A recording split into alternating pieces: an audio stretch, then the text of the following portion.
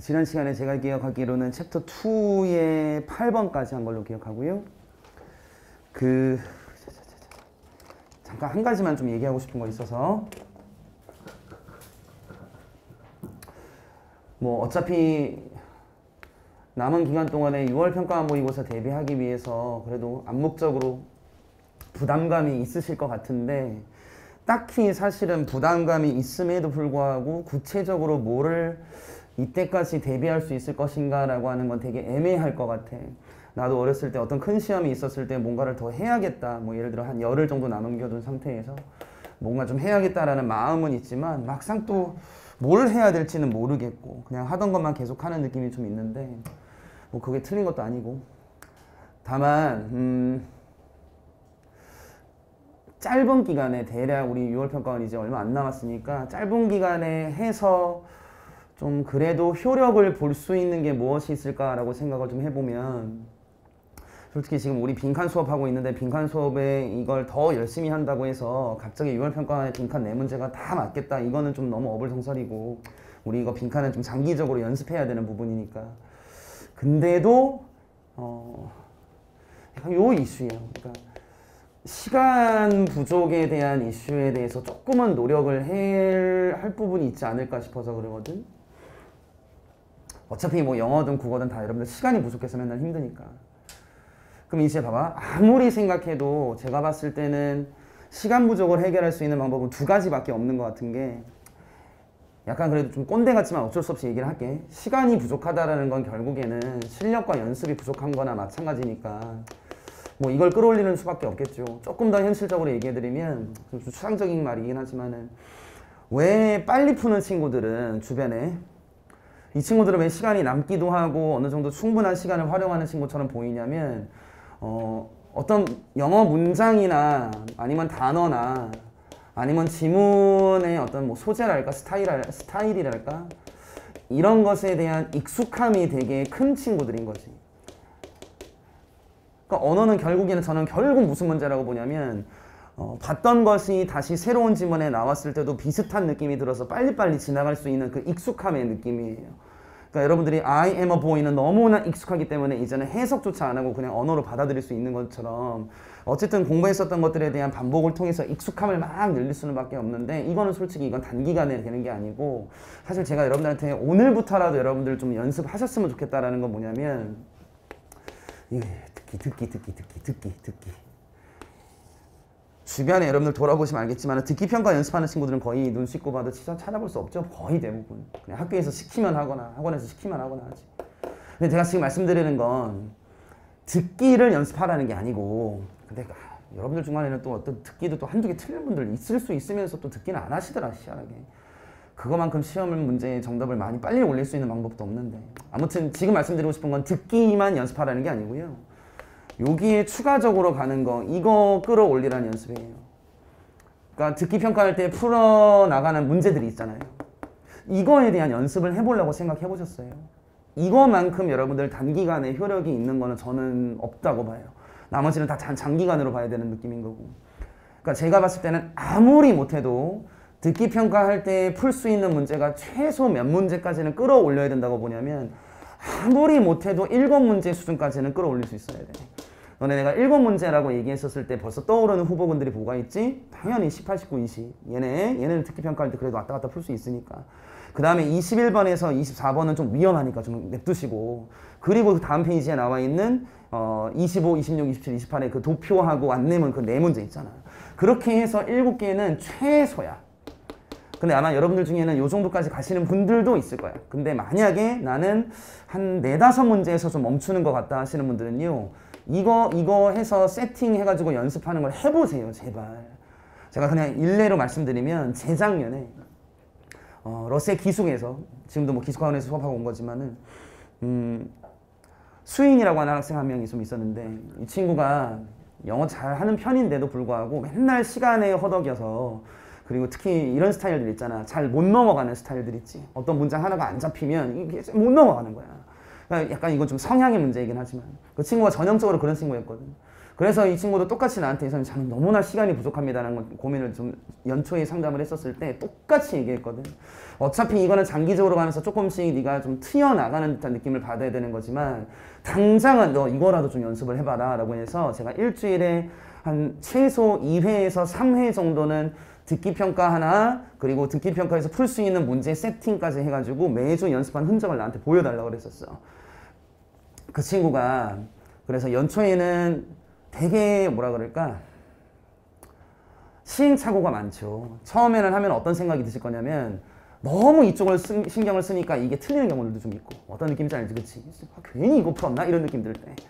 또 어떨 때는 듣기는 다 맞았는데 이걸 너무 대충 읽어서 여기가 틀릴 때도 있고 또 뭐 어떨 때는 잘 되고 약간 약간 왔다 갔다 하거든 이게. 근데 이걸 한두 번 연습하고 넘어갈 거면 그냥 안 하시는 게 낫고요 만약에 나는 조금 시간을 좀 내서 뭐 수능 직전까지 그래도 일주일에 한두 번 정도만이라도 이 세팅을 만들어 가지고 연습을 하겠다라고 하는 걸 만약에 하신다면 이 친구는 그거 연습해 가지고 초반에 몇 문제 풀었었냐면 초반에 한 네 문제 정도 풀었던 친구야. 듣기 평가할 때 근데 이 친구 연습하고 연습하고 연습하다 나중에 수능에서 몇 문제 풀었냐면 11문제 풀었어요. 이렇다니까.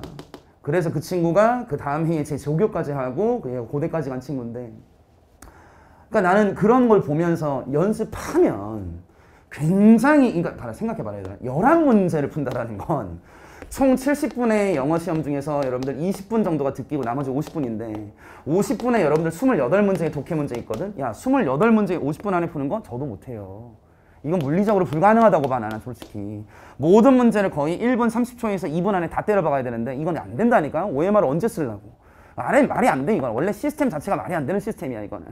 그러니 뭐 일곱 문제도 좋지만 만약에 네가 연습해서 여기까지 간다면 자 여기까지 가는데 필요한 문제 네 문제 더 있어야 되잖아. 걔 그 어떤 거 풀었냐면 걔가 너네 어법 알지? 어법은 알면 바로 풀 수 있잖아. 그냥 선지별로 접근해도 되는 거니까. 그러니까 얘가 초반에는 그걸 잘 못했지. 근데 나중에 어법 개념이 생기면서 어법도 좀 빨리 풀 수 있는 게 생기니까 하나 추가한 거고. 그리고 나머지 어디 있지? 오늘 다 아시는 것처럼 저 뒤에 있는 스토리 지문 있지. 그래 43에서 45번 문제. 그거 합쳐서 얘가 11개를 때려박더라고. 한참 컨디션 좋을 때는 12개까지 간 적이 있다고 얘기하는데 그건 모르겠고 어쨌든 수능장에서는 여기까지 풀었대. 그러면 얘들아 야 28문제 중에서 11문제 빼가지고 17문제를 50분에 푼다? 야 이렇게 되면 이거는 너는 시간이 부족해요 라고 말할 수 있는 자격 자체가 아니야 안 돼. 17문제인데 50분인데 이거는 시험 보다가 좀 잠깐 화장실 좀 갔다 올게요. 시발 그냥 뭐 아, 멍하니 있다가 와서 풀어도 될 정도의 여유라고 봐야 돼. 오바해서 얘기하면. 그래서 지금 당장 자꾸만 시간적 고민을 너무 추상적으로만 하지 마시고 해보세요. 당장이요. 그래서 이거 뭐 6평 얼마 안 남았으니까 하루에 하나 한 번이라도 문제 세팅해가지고 풀어보셔서 나중에 좀 뭐라 그럴까 시행착오가 있을 망정 그래도 이게 훨씬 낫거든.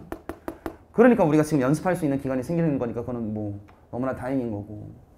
연습해보세요. 뭐 별거 없어요. 그냥 뭐 아무 문제나 상관없을 것 같아요. 평가 문제 프린트를 하셔도 되고 뭐 그러니까 교재로 하시는 마시고 진짜 모의고사처럼 이렇게 넘길 수 있는 걸로 하셔서 A4용지 복사하셔가지고 어, 듣기는 제가 볼 때는 고등학교 2학년 거 하셔도 상관은 없어요. 어, 문제도 어차피 제가 지금 방금 언급해드렸었던 그 11문제는 솔직히 여러분들 평소에 공부 안 하는 문제들이잖아. 솔직히. 너네 도표를 한 시간 동안에 열심히 집중적으로 수업 듣는다 이런 얘기는 없잖아요. 그러니까 그 문제 보통 버릴 거 아니야? 그걸 왜 버려? 듣기 할 때 써먹으면 얼마나 좋은 문제가 되는데. 버리지 마 얘들아 버리지 마.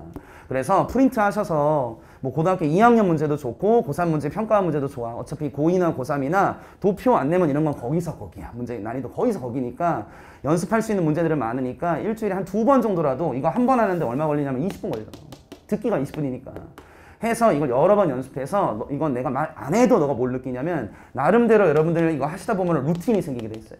이건 하지 않으면 몰라 뭐 듣기 몇 번 문제 풀 때 어디를 풀어라 아무리 정해줘봤자 그건 사람마다 너무 다르기 때문에 그건 정하는 게 말이 안 되고 역시, 역시나 계속 몇 번 계속 연습하시면 아 내가 이 그림 문제 정도 풀 때쯤이면 항상 요 정도 오는구나. 조금 욕심내니까 요 정도까지 가네. 라는 게 스스로 느껴지거든요. 제발 해보세요 이거. 저도 이거 연습해가지고 그렇게 이제 잘 되는 친구들 보면서 여러분들은 제가 현실적으로 맨날 따라다닐 수는 없으니까 이렇게 지금은 말로 해드리는데 어, 이거를 제외하고 또 다른 효율적으로 시간을 줄일 수 있는 방법은 하나 있긴 있네요. 대충 읽으시면 돼요. 말이 됩니까 이게 지금? 자 안녕하세요 김희정입니다. 영어 시간 줄이는 법 대충 읽으세요. 위에 문장 읽지 마시고요. 마지막 문장만 읽고 풉시다. Let's go! 그러면 예 선생님 이럴 줄 없잖아요. 알잖아 그런 거. 현실적으로 얘기하자니까 하세요. 꼭 해보세요. 그래서 만약에 현장분들은 해가지고 만약에 좀 약간 애로사항이 있거나 이러면은 저한테 얘기해 주시면 나름대로 뭐 조언이 들어갈 수도 있긴 하겠지만 일단 시작해 보시는 게 문제인 것 같아서 그래. 그래서 말 나온 김에 6월 평가하는 얘들아. 뭐 부담 갖지 말고 봐. 뭐 이런 그 별- 말도 안 되는 그런 소리 그냥 필요 없고 요것만 명심해. 6월 평가는 점수를 잘 받으려고 하는 거는 나는 좀 너무 아니라고 봐 이러지 마시고 좀 공격적으로 하세요 실험을 한번 해보셔야 돼 이렇게 좋은 실험 기회가 어디 있는데 자, 내가 너네라면 어떻게 할 것 같냐면 6월 평가원은 일단 최대한 공격적으로 한번 보는 거야. 특히 듣기로 만약에 얘기해드리면 네가 평소에 7문제 풀었다면 11문제까지 한번 해보는 거야 그냥. 그리고 나오는 점수가 만약에 구리다고 해도 그건 너만의 점수로 따로 알고 있으면 되잖아. 안 보여주면 될 거 아니야. 쪽팔릴 일도 없고.